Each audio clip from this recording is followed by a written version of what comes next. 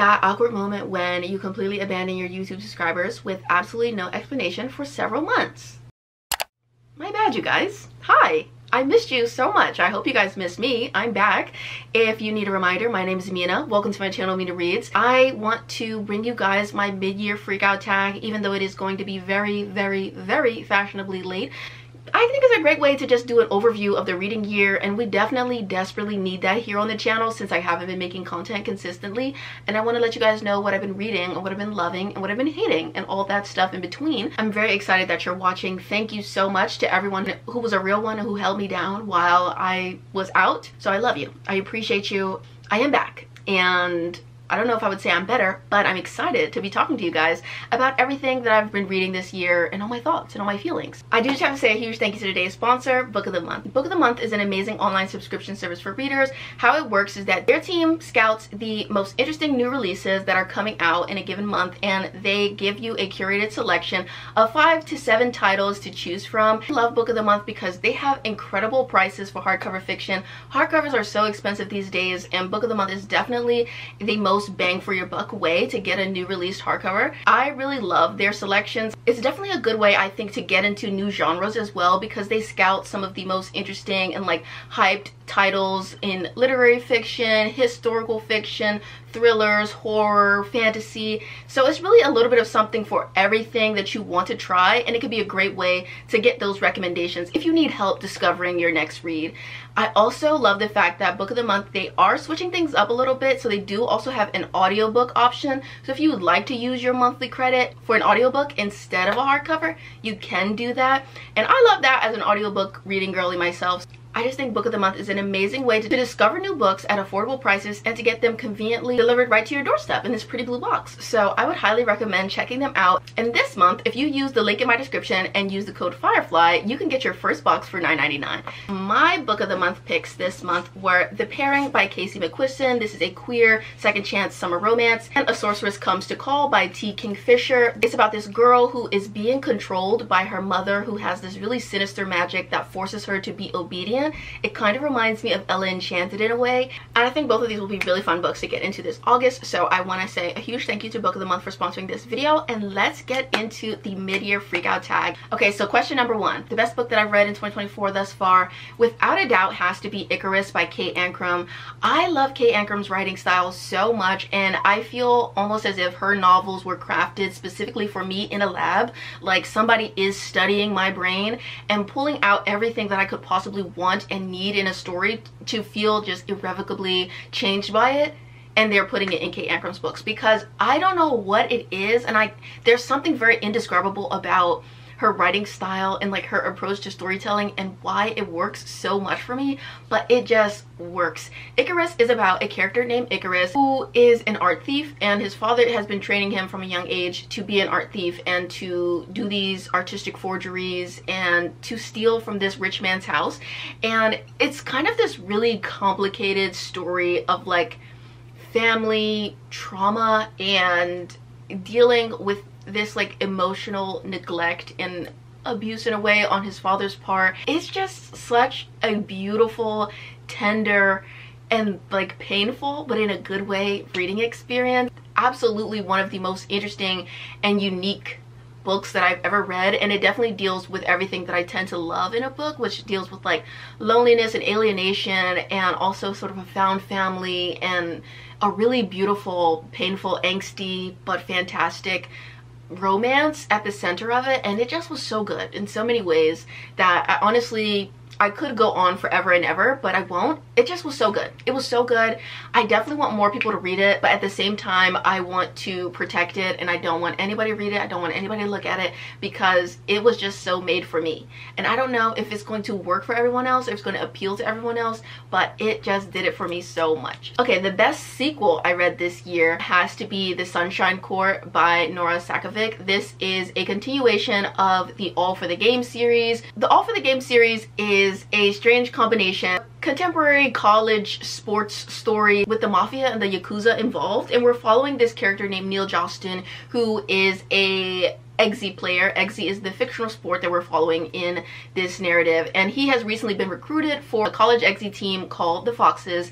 I read it when I was in high school and so I kind of thought like I don't know if I'm gonna love it as much as an adult, but going back into that world and experiencing it from a different point of view because we see the point of view of Jean Moreau, someone who has experienced extreme trauma. And this is a story really about him healing and him being relocated to a new Exy team in a new state where he can kind of live his life and heal in peace and move on from all of the trauma that he's experienced. And I really don't feel like I'm explaining this series well you just have if you know you know. I don't know. If you know you know. But i think that it was such a good sequel because I think many times when an author comes back to a long completed series and they choose to add something to it, I don't often feel like the things that they have to add to it are really worthwhile like most of the time it's not worth your time. It wasn't worth revisiting. We could have kept it in the drafts. You know what i'm saying? But i definitely think that this really brought something so new to the series. I think that jean was such an interesting protagonist and his way of seeing the world was so drastically different than neil's our protagonist in the main trilogy. And so i think that we we gained a lot of knowledge and insight about the world even things that Neil has already told us, like just seeing them through Jean's perspective added so much to the story, I think. So I feel like there was something so, so rewarding about seeing Jean, who is this like extremely tortured character, experiencing goodness and love and healing, even though his healing journey is slow and complicated. And it was just so good. So it was a great sequel, in my opinion. Next question, a new release you haven't read yet. I think I'm gonna have to say Running Close to the Wind by Alexandra Rowland. This is a book by an author that I've enjoyed in the past. One of my favorite books of 2023 was A Taste of Gold and Iron, which was a standalone fantasy by this author, and I loved it so much. It was such a good fantasy romance, and this is another fantasy romance. This sort of involves a heist of sorts, and it's a pirate story. It sounds like my thing, you know? Like, it's fantasy, it's poly, there's pirates, I think I'm gonna love it. And I also really want to read Mistress of Lies by K.M. Enright. And this book is another poly fantasy story. This is about a character named Shan who uses blood magic and she is trying to strengthen her powers as much as she can. She's taking over as the head of her family and she is out for blood and she's getting some revenge. And this is also going to deal with her forming a polycule of some sort. I'm excited to read about it. I think it's going to be a good time. I hope she's like a really brutal ruthless protagonist because I haven't read enough protagonists like that this year and I miss it. So I hope this is going to be a hit. And yeah, I'm really excited for it. This is an August release. All right, my most anticipated release for the second half of the year is going to have to be So Thirsty by Rachel Harrison. This kind of is a random one. I've never read anything by Rachel Harrison in the past, but I was scrolling on NetGalley and I saw it and I was like, oh my god, I have to read this. It's essentially about this woman who, it's her birthday, she's sort of in a rut and her friend decides to like surprise her by doing something fun and spontaneous. And so they end up um, like in a bar in a hotel that they've you know never been in before. It's something strange and new and fun but their lives are changed irrevocably when they both get turned into vampires and it's gonna have like crazy consequences. And i feel like it's gonna explore this friendship and the consequences of like immortality and the experience of it and everything like that I'm very excited to read it because this has very much been a year of vampires for me. Now we're going to talk about some of my biggest disappointments of the year. It's been a really mid-year, so everything has kind of been like, eh, you know, that was okay, or like, wow, I really wasted my time. And so because of that, I feel like I've just experienced like disappointment after disappointment, a lot of boredom, and just like so much like bleh. In terms of my reading experiences definitely some extreme highs but also some very low lows. And so it's been it's been a year. It's been a year okay? And some of my biggest disappointments would have to be number one we're going to say the vegetarian by han kang. I really was very excited about reading this book because it is a very heavily praised and lauded like translated fiction work and so I was really excited to read it and I also had read a a little excerpt of this when I was in college in one of my like women's fiction classes. I feel like when I was like a freshman or something. And I remember the excerpt that I read, it had an impact on me at the time. So I was very intrigued to read the whole story. it just wasn't anything special to me. I definitely think it had some interesting themes, but I don't think that the execution and the writing style really worked out for me so that's a shame. But that was definitely a huge disappointment especially because i tried so hard with it and i was reading it for like months. Usually i would just quit i would just give up on a book but like i said it was a book that i had had in my mind that i was going to read it someday since i was a freshman in college and so it just felt like this was something that i had to complete like this was my personal mount everest and so i had to climb it. I had to conquer it and i did but was it as rewarding as I wanted it to be? No, absolutely not. Another huge disappointment for me was An Education in Malice by S.T. Gibson. I have previously loved two of the S.T. Gibson books I've read in the past, A Dowry of Blood and also Evocation. Two incredible books. Truly those books spoke to me so deeply. I love them so much. They were incredible. And so there was just no doubt in my mind that I was going to adore An Education in Malice, and that was absolutely not the case. An Education in Malice is this dark academia rivals to lovers story, and it's also a Carmilla retelling, and I just felt like Carmilla and Laura were so boring. They were such boring people, and this narrative was just not at all as interesting as the previous stories that I've read by this author, I don't think that the character dynamics were anywhere near as interesting as the previous works I read by the author. I don't think that the writing style was as beautiful and lush and sensuous as previous books that I've read by this author either. And this book was supposed to be like very sensual because it also deals sort of like some kinks and things like that like the characters are they're into some shit you know so it's it's supposed to really like be sexy and erotic and tantalizing in some way and it just very much was not and I was just so deeply unimpressed with everything that it turned out to be so this was just not at all a book for me huge huge huge fantastic disappointment in many ways. I'm also going to say Stars in Your Eyes by Kacen Callender. I don't even want to waste too much breath on this book, but I think that the writing in it was truly juvenile, and I think it was such a fan fucking tastic premise, but the writing was not good. The writing was simply not up to par with how good the concept was for the story. So I just, like I can't think of a single good thing to say about it and so I'm going to say nothing at all. So anyway, um, the last disappointment is going to have to be Dune. I really, really, really love the Dune movies. They're sort of like the peak of sci-fi action cinema to me in many ways. And so reading the book, it was just not at all a similar experience. I really, really did not like Frank Herbert's writing style, unfortunately. A few banger lines in it for sure. Like the Litany Against Fear, he ate that severely, okay? He devoured. But the rest no. I was just not a huge fan of the way that the narrative was organized or just the writing style in general. It was very boring, very blah, very Mm. And I feel like the story is so interesting and it's so intricate and complex, but there's just like a lack of flavor in the writing style. So it was a really boring experience, which was shocking to me in many ways. Um, but yeah, those are my biggest disappointments. And let's get on to my biggest surprises. So my first big surprise is going to be Nevada by Imogen Binnie.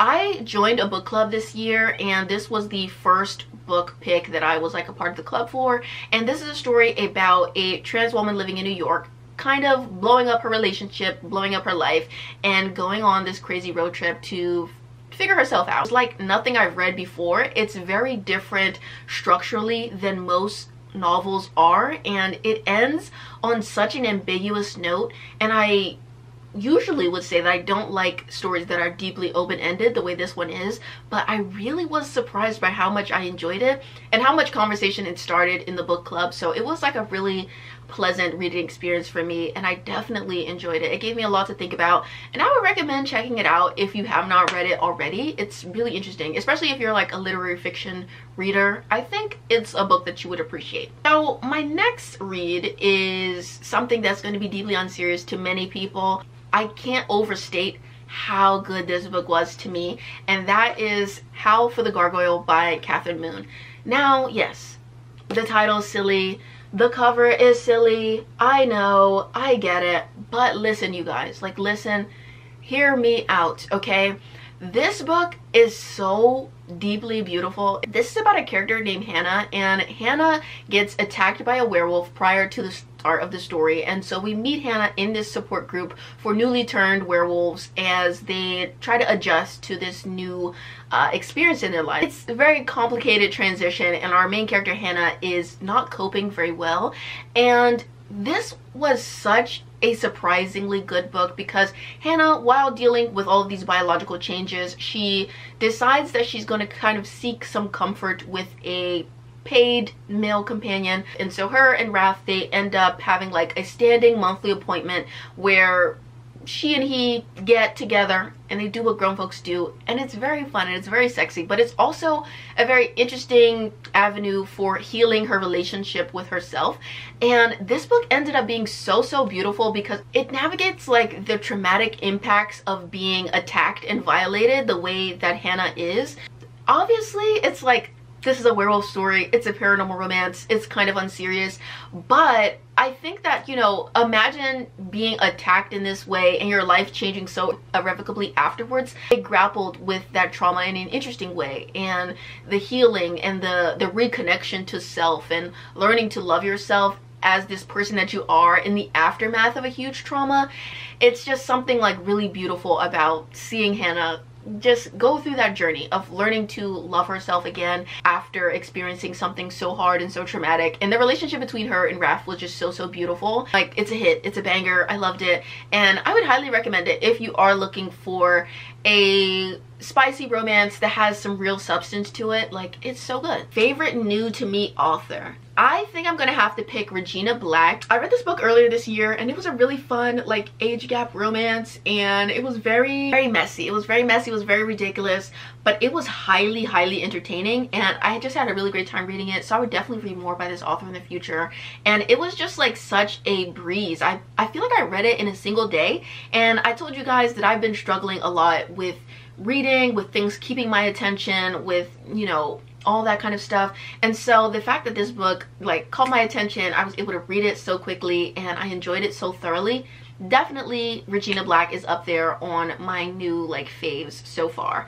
And the next question is favorite fictional crushes. So usually i have a lot of answers for this question but i think i'm just gonna have to go with eli from not in love by ali hazelwood he was just so iconic. Like he was obsessed he was devoted he was down bad. I think in my goodreads review for this i called him like a stage 5 clinger and a level 10 munch and that's exactly what he was and i need him in my life desperately. Newest favorite characters. I already have like given you my whole spiel about how much i love jean uh, from the sunshine court but i love him so much I he's my baby for sure. So he will be up there. I also want to say maybe Kaladin from The Way of Kings.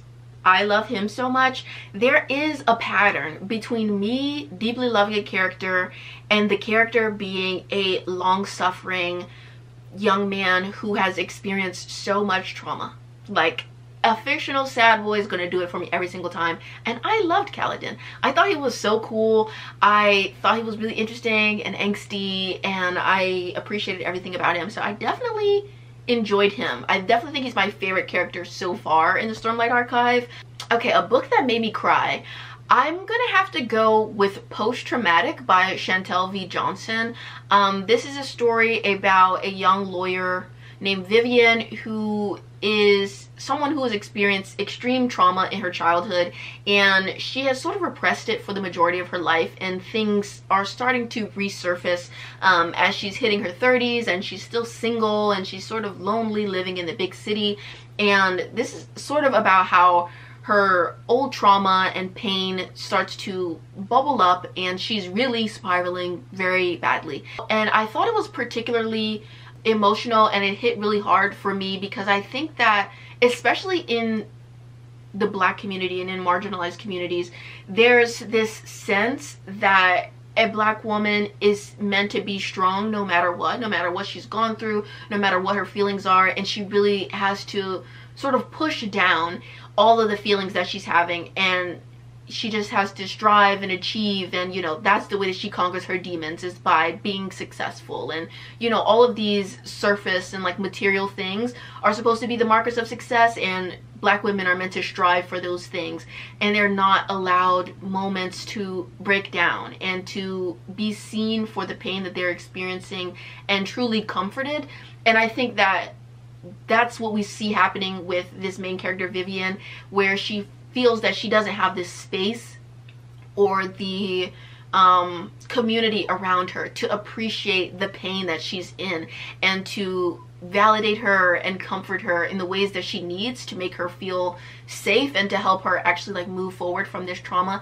And so it was just something that was so painful about it and it felt so personal.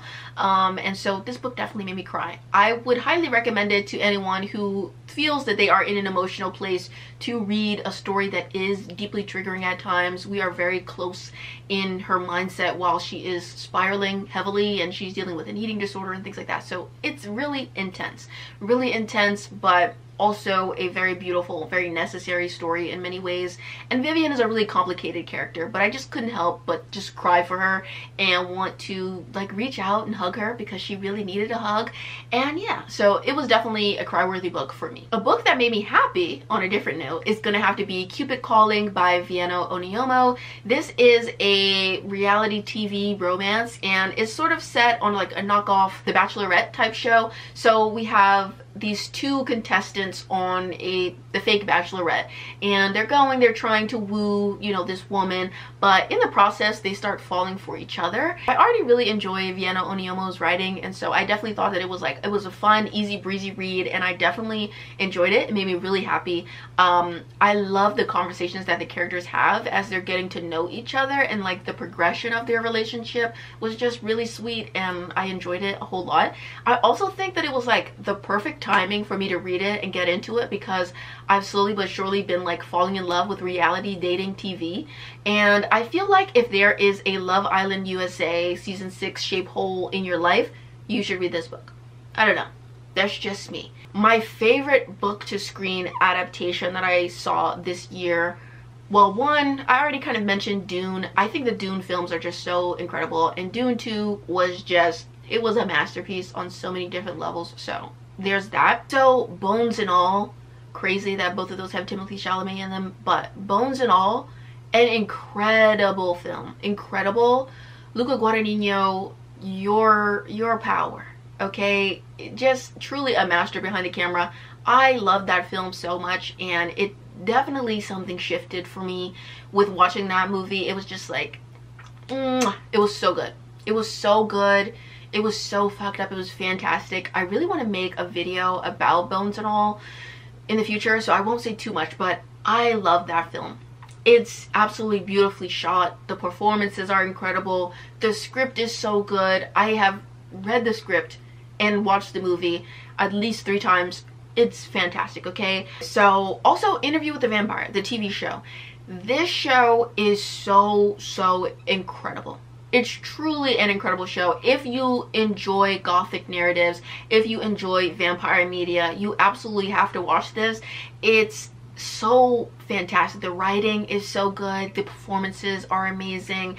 And it's just like the perfect adaptation in my opinion because it takes uh, interesting source material but it definitely expands on it and makes a lot of changes a lot of really big changes. Like it does race bend the characters and things like that. And i think that it does something very important with those changes by making like the main character louis black and how his experiences as a black man are playing into his overall experience as being turned into a vampire as is playing into this relationship that he has with Lestat. Like it's just so good and I think that it does everything that I would want an adaptation to do. I think that you know we already have the book. We already have the book so and we already have previous adaptations of the book. So I think that if you're going to do another adaptation it has to be something something new that we haven't seen before with this material and i think that interview with the vampire just does that so well so i'm deeply obsessed i highly recommend it fantastic stuff All right, the next question is the most beautiful book that you bought or received this year. And I'm gonna have to say The Sky on Fire by Jenn Lyons. I really love this. This is a um, like dragon fantasy book. And I like how the dragon is like superimposed onto this mountain landscape like it's just really beautiful. I love the color scheme in it. And it definitely it projects a vibe. I love when a book cover can really capture the vibe of a story just so perfectly in a single image and I think this one does it very well. And the last question is what are some books that you need to read before the end of the year? So I already mentioned The Sky on Fire which is beautiful and I definitely need to read it. This is a dragon inspired fantasy and it's about this character named Anahrod and she's sort of on the run and pretty much in this world like the dragons are the rulers and humans are sort of under their power and sort of living at their mercy and our main character Anahrod has angered one of the most powerful dragons and so she's kind of on the run and in hiding and this is a story about this group of people like banding together to find her. I need to read this I also need to read Words of Radiance, the second book in the Stormlight Archive series because as I already mentioned, I love me some Kaladin. I want to reconnect with him. I want to find out more about what's going on in this world and I also need to read it before I actually forget everything that is happening in this world because it's been a few months since I read The Way of Kings. So I do need to get into this before I forget all of the lore in the world building. Um, and yeah because there is so much and it's it's such a long series um so i just i need to start it sooner rather than later and get back into it and reconnect with Dalinar and Navani. I want to see how their relationship is developing. I want more from Jasnah. I want more from Dalinar, Navani, Adolin, Kaladin, and Shallan, I guess. I'm not a huge fan of her, but you know. And I guess the final thing I really want to get into is Little Rot by Akwaeke Emezi. I am going into this book kind of sight unseen. I really don't know what it's about. I, I know that it's about like a character who goes through a breakup and like is spiraling and getting into some nefarious activity but beyond that I don't know too much but I'm excited to find out. Oh, that is my mid-year freakout tag done. I talked a lot, but it was great chatting with you guys again. I really missed it so much, and I hope you guys missed me as much as I missed you. So let me know in the comments below some of your best and worst reads of the year so far. I would love to hear all about them. Thank you so much to Book of the Month for sponsoring this video. Be sure to check them out at the link in my description. Use that code FIREFLY to get your first box for $9.99. And yeah, I will see you all in my next video.